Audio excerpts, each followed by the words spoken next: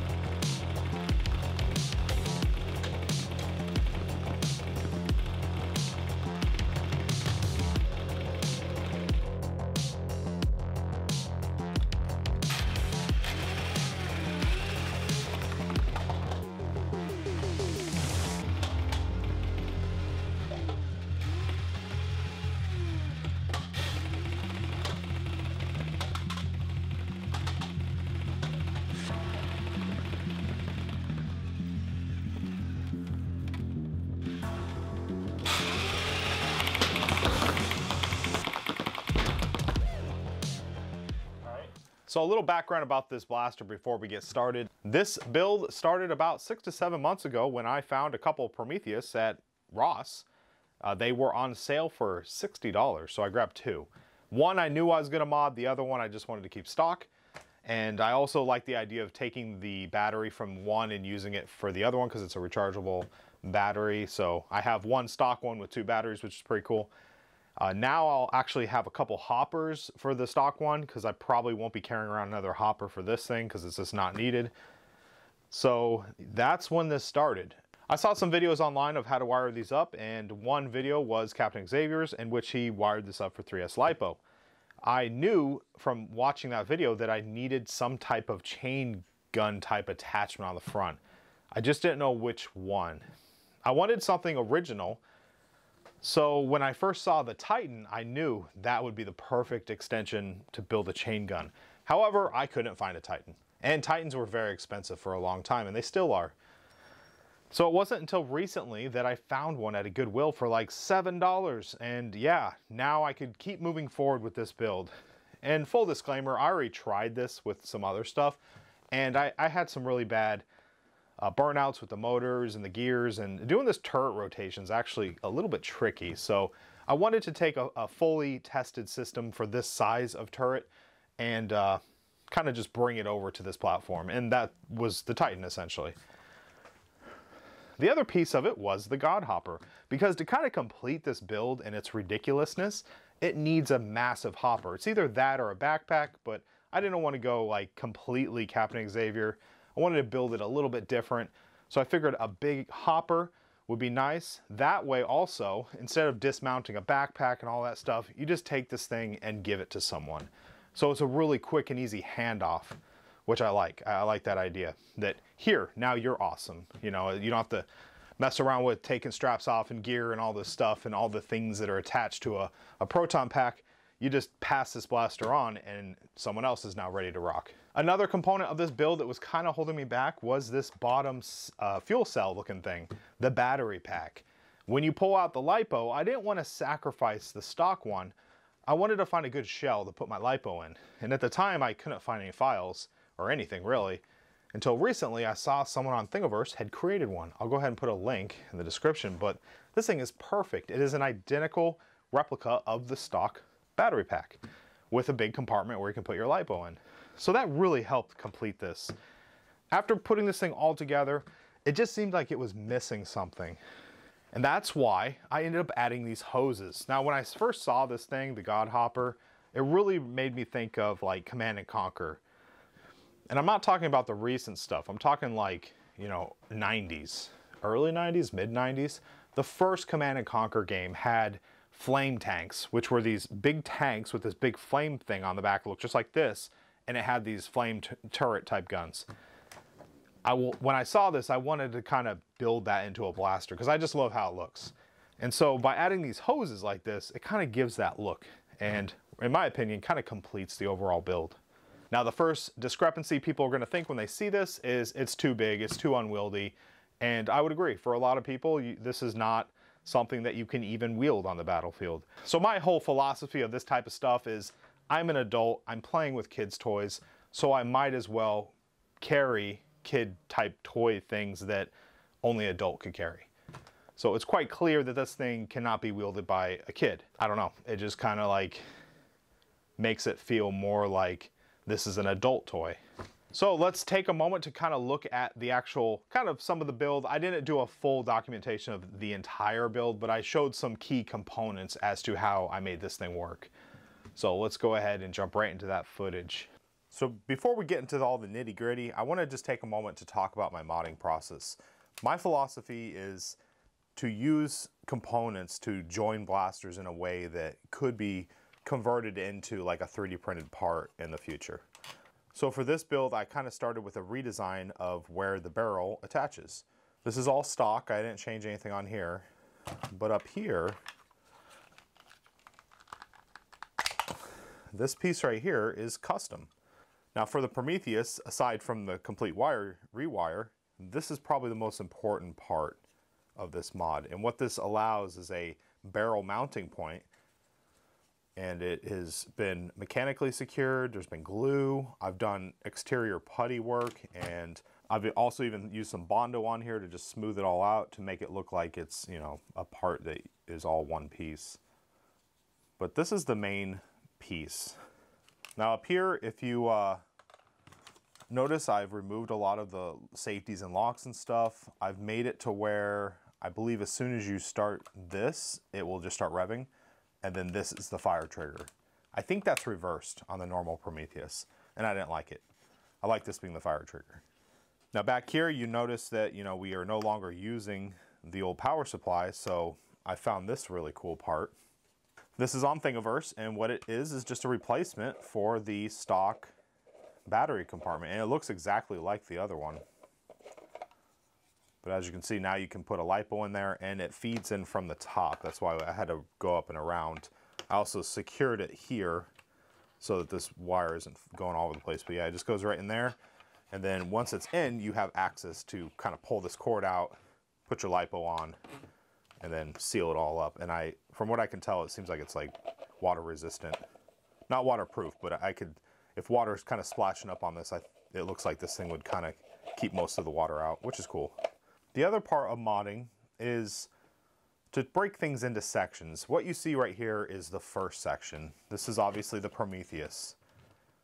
And this in itself is a, is a full job. In fact, I, I did this uh, rewire like way back, uh, probably about six, seven months ago when I first got my Prometheus. And yeah, it's just been uh, kind of sitting around. I tried building a new barrel turret on this and it burned out the motors and I just didn't have much, success. And so I was waiting for a Titan front end.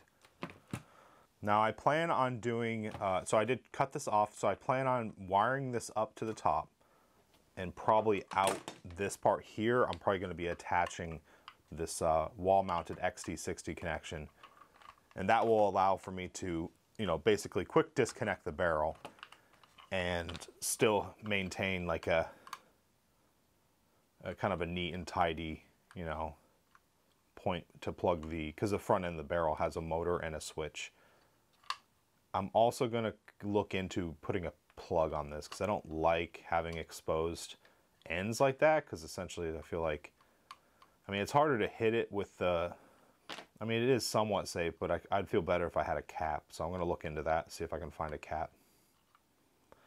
Because when converting over to that mode, so what I'm trying to do is it's modular, so I can convert it to its base mode. I would keep, you know, the original handle that I could slap on and then plug the front. And what else? There's another thing I'd have to do. Oh, I probably would have to change this front barrel, maybe put a piece of orange tape. That's not too hard. I might just do that during um, during this build. Basically just put some orange on the end of the tip. The thing about the Prometheus front end is like this actually looks like the barrel, so it almost works. But for safety's sake, it's actually a good idea just to tag out where the darts or, you know, ammo or whatever is coming out. So that pretty much covers this stuff. I'm gonna go ahead and build this off camera. I'm just basically putting all this stuff back together. If you need a more in, in-depth, detailed build guide on how to rewire Prometheus, uh, I'll put a link in the description because Captain Xavier already made a very decent one and that's actually the one I used for this. So let's move on to the next part. So in this next part, I just wanted to demonstrate that I've kept this thing basically in a configuration where this is like stock. It's just a 3S Prometheus. And if I just want to take it, you know, as a regular Prometheus, I can. So I'm pretty happy to retain this original aesthetics and look. I did throw a little uh, band of tape on here just to, for safety for the barrel. But yeah, everything works fine. Uh, I disabled the lock so you can have this open and still use it. And this can easily be changed out for, you know, the other hopper. All right, so let's talk about the barrel because this is the interesting part of the mod. Now everything up this whole area is just cosmetic essentially. This is just to make the blaster look super cool.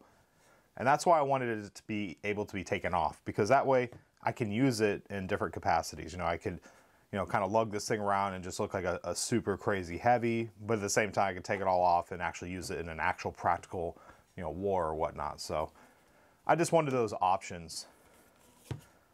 Now these hoses, these just kind of completed the build for me. I wanted something to kind of look like the flame tank from Command and Conquer for those of you that are uh, kind of old school and remember the original Command and Conquer flame tanks that Nod had. Uh, that's what this hopper reminded me of. So I wanted something to come out the front. I wanted these to look like tanks, you know. And what I found was these drainage hoses and then some PVC. And I actually puttied these on and I kind of trimmed it down and made it so that these connectors can just kind of just connect on there and they, they stay really well. I don't even have to clamp them or anything because there's no pressure on them and that works. So this part here is just a T. This is a, I believe it's a one and a quarter inch PVC pipe. You can use all kinds of different sizes. The sizes don't really matter. This is just aesthetics. And I put a couple elbows on there and then inside here, I did a little donut of putty and just shoved it in. So these things are like locked into place. I also put some brass inserts on here and they basically allow this thing to mount solid very securely right here. And because I use two, it doesn't rotate or anything. So that's the purpose of that. Let's pop this thing open so I can show you the most important pieces of the barrel. These are custom pieces that I had to kind of fabricate. Here we go.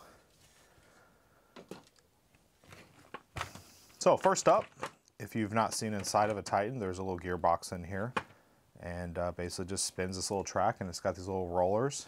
I will be greasing all this up so we have nice smooth motion.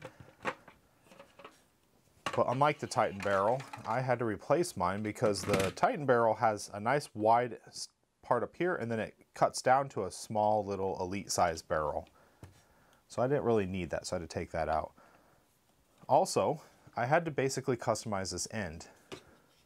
This is all glued into place now, but essentially it has putty to kind of to kind of build up a, a lip in there so we have a nice transition and the back tube is smaller than the, the mouth it opens up so we can't have any rounds getting stuck in there. There's also no hop up with this system so could be a problem. Probably going to have a lot of drop in, in uh, the rounds but we'll be we'll do some testing.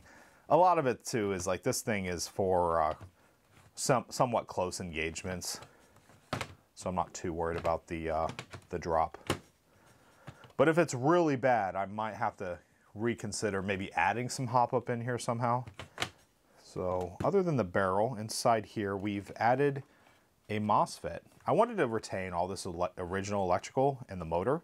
I don't need the motor spinning really fast, so I figure I'd just retain it all and then throw a small MOSFET from out of darts. That's what this is. This lead right here is the switch, which I've connected, I'm gonna connect here. It is a three position, so I mean, I, if I wanted to add something else, I could. It's all I had. I just, I didn't have a, a single position switch, so uh, this is a, a three position. But basically, I believe this is off, off, and then that's how you turn it on. I wanted to also make it so you can turn the circuit off. That way, you could potentially increase your FPS a little bit and also prolong your battery. And still maintain the look, but if you're just completely done with it, you just pull it all off. So I want to give some options there. So for now, I'm going to solder this up, wire this up to the top, and I have an XT60 connection right here, so I'm probably going to have to add some wire. This one I'm going to have to somehow figure out how to do more of a 90 degree wiring, which uh, isn't too hard. Basically, you just make a 90 degree bend in the cables or in the wires, and then when it fills all up with solder, it basically makes it hardened. And I think I'll still be able to slip some heat shrink on there. But let me do that. I'm going to do that off camera because this is just more soldering work. And uh, I'm also going to put this barrel together and then go over, you know, basically the final functionality of it. Okay, I don't know how much of this I can get in frame. this thing is ridiculous. So these, these, like I said, go onto here, so I don't really have to show that, but I will put the hopper on here.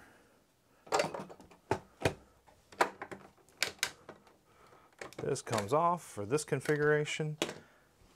I have a 90 degree plug that I made. I haven't tested it yet. It's going to be interesting to plug this in. But essentially,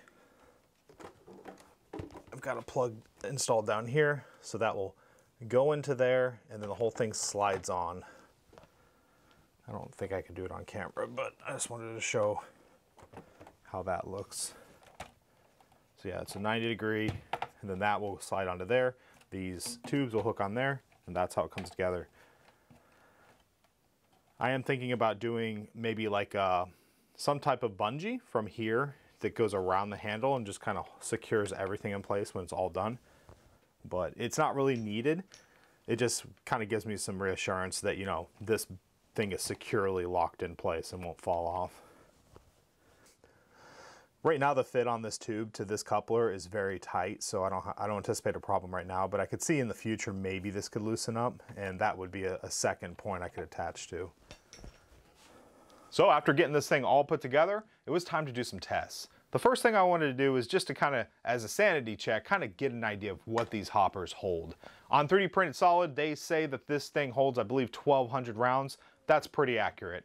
I was able to squeeze uh, a bit more, but the thing with these hopper systems is you need that agitator, kind of some room to, to move around, or they don't work. So anything over that capacity that they usually quote to you, you're doing this at your own risk, and you could potentially cause jams and feeding issues. But me personally, I did some tests in which I loaded this up to like a safe operating load, and that was about 1,120. So, I mean, I, I, could see it going up to 1,200. That's not out of out of the ballpark. And uh, a normal hopper, just a regular Prometheus hopper, holds.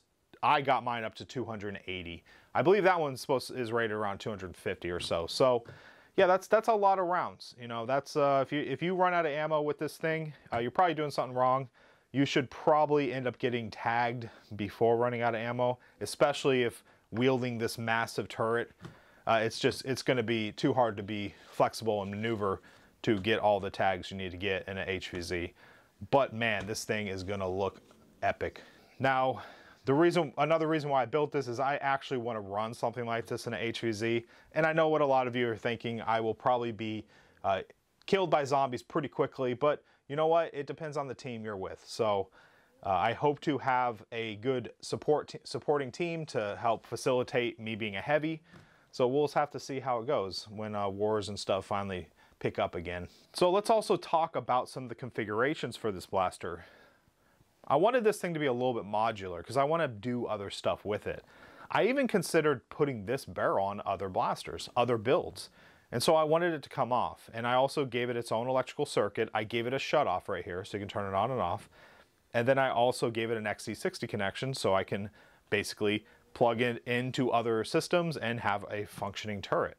This uh, popper right here is uh, connected to the blaster with these quick disconnects. So it's not really a big deal. They just pop off and you can slap it on pretty easily. There's no load or anything or no pressure, so it's not really a big deal. Usually these things have clamps, but this is just aesthetic, so it doesn't really matter. I can still put on the old hopper. I can drop off the nose and then, you know, use the old hopper, so it pretty much looks like just a standard 3S Prometheus, so that's nice. Or I can just run it with a God hopper and no barrel. That's still a really good option. Uh, a realistic loadout in an actual HVZ would be probably that having the barrel on here is just kind of uh, adding to just the overall look of your loadout and is unnecessary, but looks badass. Grab a couple numbers here. The first one will be with the barrel. If I can line this up.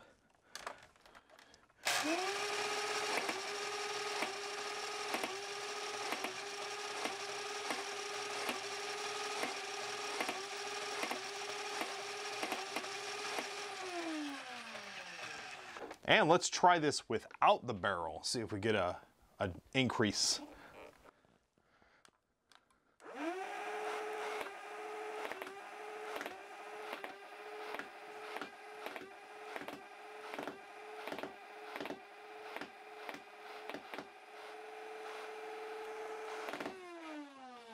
So it kind of looks like a 5, 5 to 10 FPS gain average.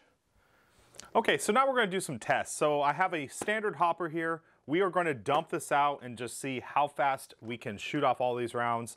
And that way I'm just gonna do a little math and get kind of like average fire rate. All right, so three, two, one.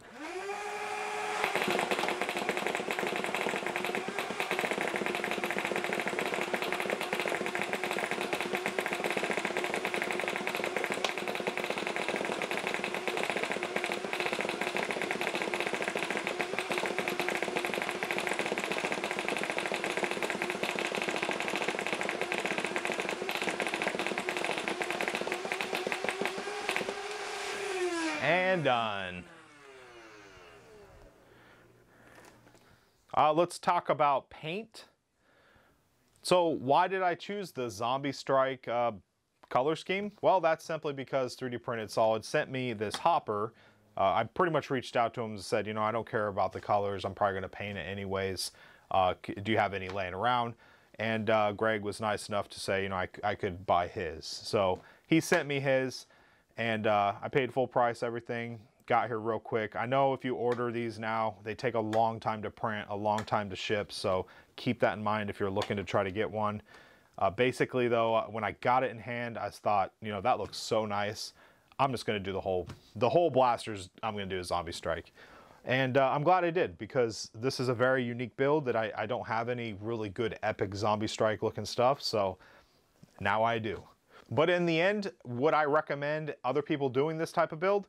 For sure. I think this is just phenomenal. I would love to see more people with just ridiculous giant blasters like this. If you're looking to build something like this, uh, I'm always available if you have any questions. Uh, there is no like Arduino or smart system in here. This is just a, a standard, you know, pull the trigger fire kind of thing, just a big burst. The only difference between this and like, you know, a Perses or whatnot is we've added a motor for you know, just spinning the barrel up front. But other than that, it's, it's pretty much the same thing. Well, I'm Dr. Flux, and that pretty much wraps up this build. This is the largest build I've ever done. As you can see here, this used to be the biggest thing I ever had, the GL. Still massive, but yeah, this thing just can't even compare to this size of this thing. This is my first big build that I did, which was the Behemoth. And yeah, it's even a fraction of the size. So, as you can see, I obviously like building big, ridiculous blasters. Let me know in the comment section if there is an idea you want me to try. I uh, always like to see new ideas and might actually try building one. I want to thank you for watching this video.